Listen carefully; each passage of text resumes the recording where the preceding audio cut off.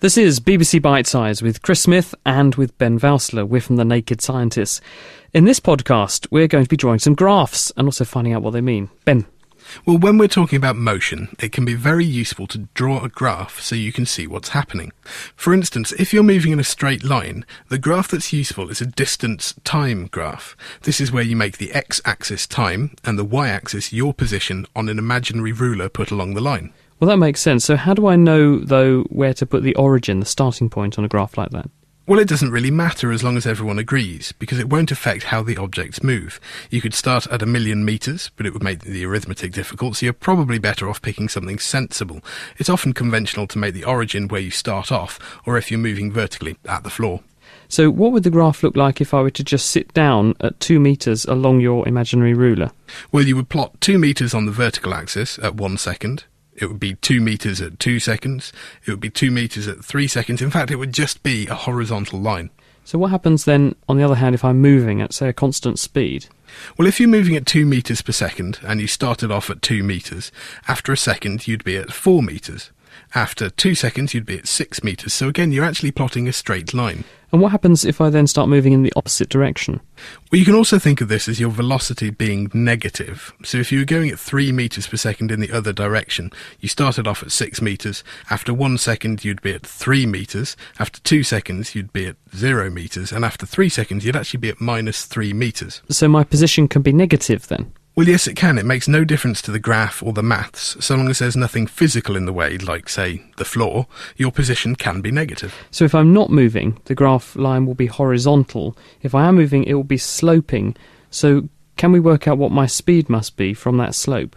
Well, yes, if you're going very slowly, your position will only be changing a little every second, so the graph will be a very gentle slope.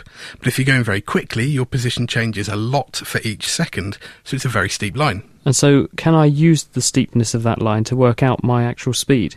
Yes, if you can work out what's called the gradient of the graph, that's the velocity you're going at. And how do I do that?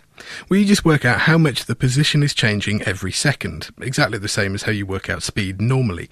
So if your position on the graph has changed from 10 metres to 30 metres in 5 seconds, your position has changed by 30 minus 10, that's 20 metres, in 5 seconds, so you're going at 20 over 5, that's 4 metres per second.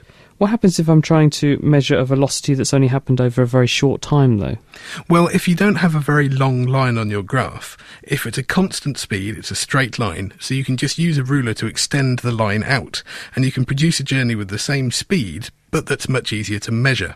You could, of course, draw a graph of your velocity. And how does that work? Well, again, you have time on the x axis, but this time you have velocity on the y axis. And what would that graph look like if I, say, didn't move anywhere? Well, your velocity would be zero if you're not moving, so the line would just stay at zero. Or if your speed is, say, a constant 2 metres per second, then the graph would be a horizontal line at 2 metres per second. So, what does it mean instead if the line is sloping on this graph? Well, this means that your velocity is changing, which means that you're accelerating. If the slope is constant, then the acceleration is constant. So a curved line would mean that the acceleration is changing. So can I work out what the acceleration is from that? Well, yes, this time if you work out the gradient of the graph, you'll know the acceleration. Again, a steep line means a large acceleration, and a gentle slope means a small acceleration. And is there any way of working out your position from this velocity graph? Well, you can't work out your starting point, but you can work out how your position has changed. Because you work out a change in position by multiplying a velocity by a time, you can work out your change in position by multiplying each speed in the graph by the time that you're going at that speed for. Well, that's all very well if you're going at, say, a constant speed, but what happens if you're accelerating and your speed's changing? Well, multiplying a velocity by a time is actually the same thing as working out the area under the velocity time graph. So if the velocity is changing at a constant rate, you can work out the area under the graph, which will be a triangle or a trapezium, and you can work out the area and hence how far you've travelled.